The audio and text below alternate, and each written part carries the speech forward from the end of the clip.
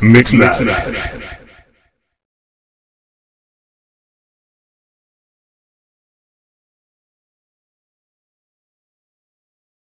Hi everyone, I'm making this tutorial for my good friend Ruvanto about how to create basic bright game effects using a 3D program. This is basically his tutorial made into a video tutorial by me.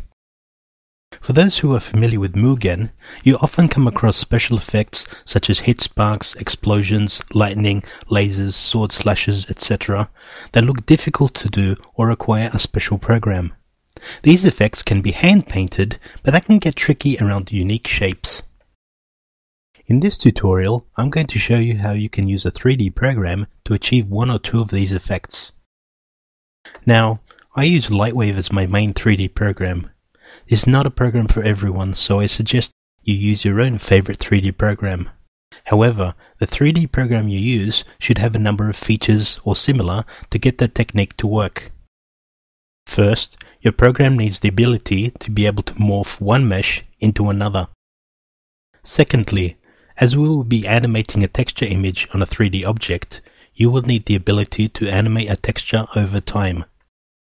Finally, when you place an image on the surface of your 3D model, your program should have the ability to turn off any texture tiling so that when you animate your texture, the image does not repeat itself. Okay, the key thing for this tutorial is that we'll be working in black and white.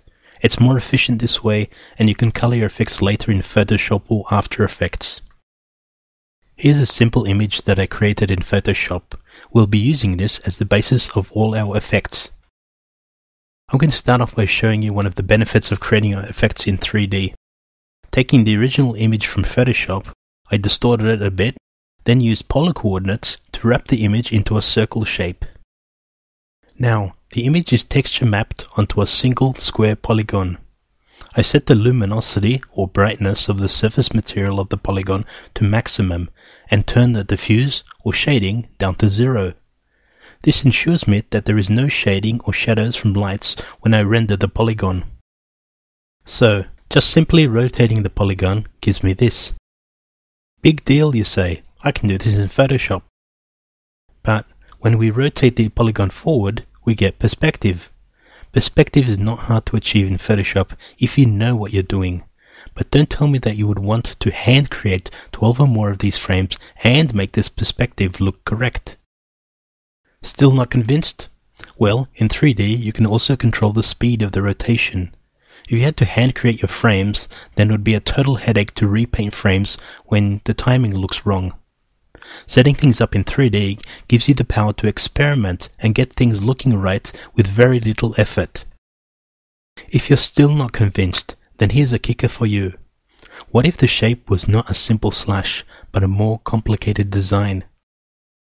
Do you honestly want to tell me that you would enjoy hand creating all the frames for something like this in Photoshop? So, perspective and animation control are two of the benefits of setting up your effects in a 3D program. What else, I hear you ask? Well, let's make a complex energy slash. We'll be using the original texture image created in Photoshop. First thing to do is to create your final overall slash shape. I've decided to go with an infinity symbol slash. Not too complex, but still a bugger to make by hand. Usually, when you create a morph shape, you create the flat, undistorted version of your object, and then create the twisted morph shape.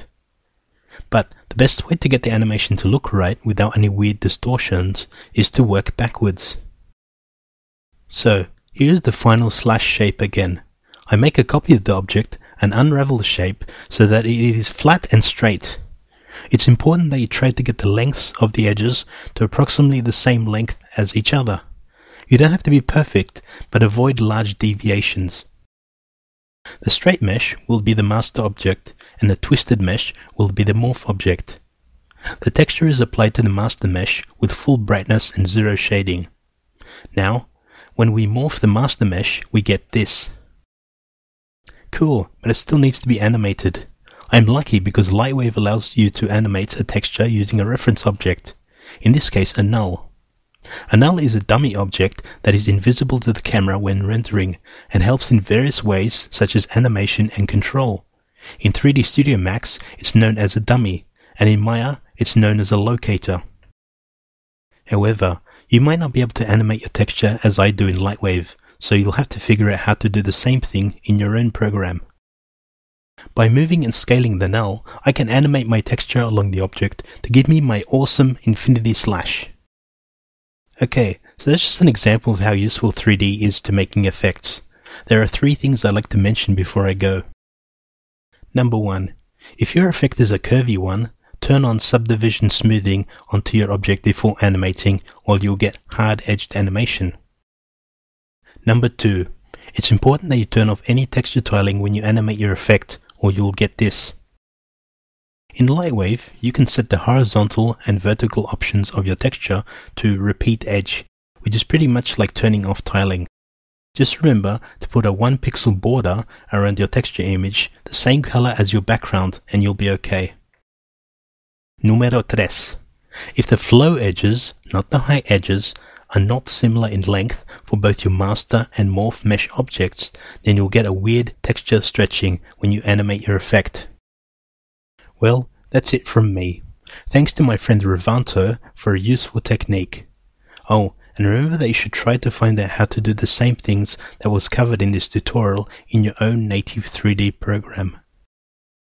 This is just the beginning of what you can do in 3D for your 2D effects. Don't forget that many programs have particle generators that's good for explosions, smoke, and other natural effects. Anyway, good luck and trust me when I say that this technique will give you high quality 2D effects for your gaming and animation needs. See you later punks!